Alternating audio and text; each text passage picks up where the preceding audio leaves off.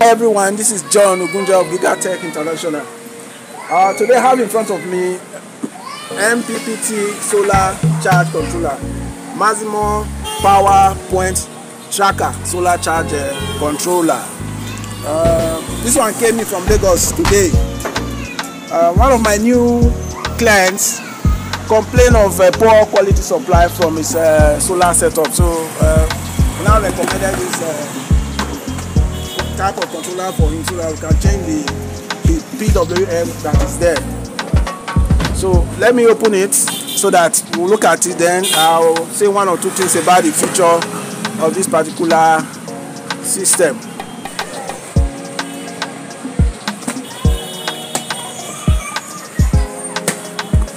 Alright, this is the guide.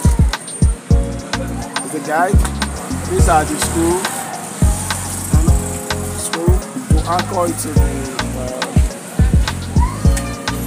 the wall.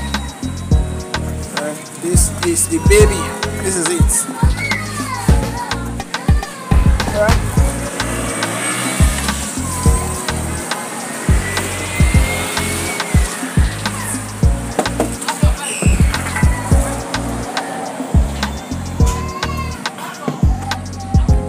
Alright, that's it.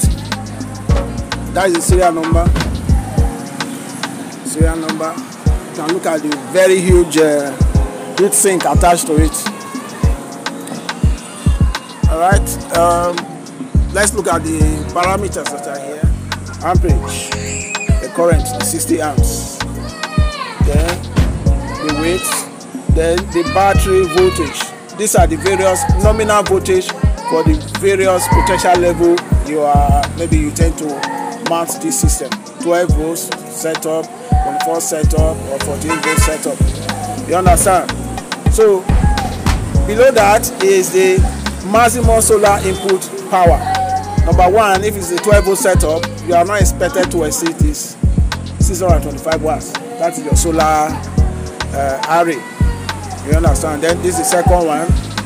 When you are operating on this on this potential level it should not exceed this uh, 1650 watts and also when you are on uh, 48 volt setup that is the, the maximum uh, watts of your solar array.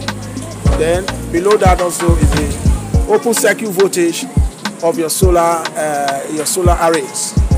By open circuit voltage I mean the the voltage you read from the solar array without any load connected to the solar panels. Hmm? No load no load voltage You understand? So also this one is very important. Uh, the temperature. It ranges from minus 25 degree to 55 degrees uh, Celsius. So we need to look at all those ones so that you know how to a very good uh, uh, setup. You understand? So that's that. This system has um, two major features. technically this is a dc to dc converter. It's a dc to dc converter. When you look at the, the uh, these four terminals input terminals four terminals this and this just as you see this picture here it depicts the terminal that is going to the solar solar panel. That is the primary or the input if you like then while on this other side is the side that is going to the load which is the battery. So it is a dc to dc uh, converter.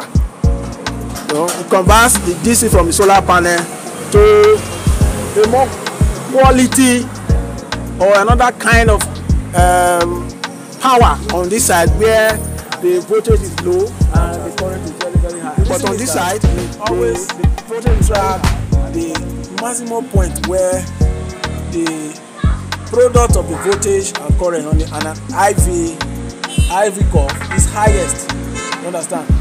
Irrespective of the magnitude of the input voltage from the solar panel, whether the sun is very high, whether it's low, it charges the highest point where the power is maximum, which is the product of the voltage and the current. You understand? The primary reason why we need an MPPT is to uh, maintain a good battery health status. You understand? Maintain a good battery health status. And how does this system goes about doing that? So number one it helps to equalize the specific gravity of the cells inside the battery.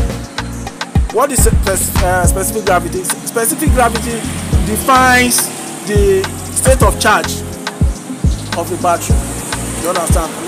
Some other time we can dive into that. Then on point number two it helps to desulfate the sulfate crystals that are attached to attached on the um, the surface area of the metals inside the battery conducting metal inside the battery. You understand? It helps to remove all those uh, crystals for better performance of the battery. Two it has uh, a selectable three stage charging mode for virtually any kind of deep cycle batteries.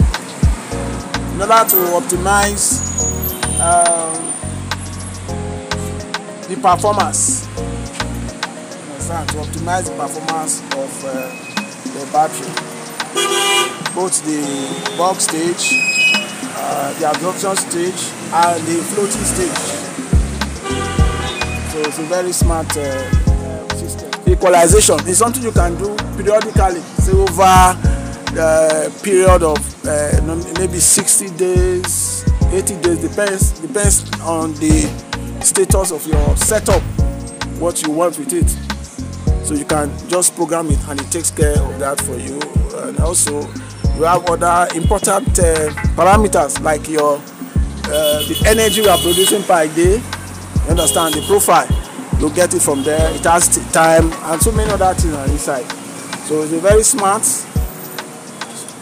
and intelligent uh, uh, system. So that is it. So by tomorrow we are going to go in there we're going to fix it. We'll compare um, the PWM to this one. We'll compare the PWM that is in that uh, my client's uh, uh, resident. We'll compare it performance of that one to this uh, uh, Felicity Felicity product. Yes.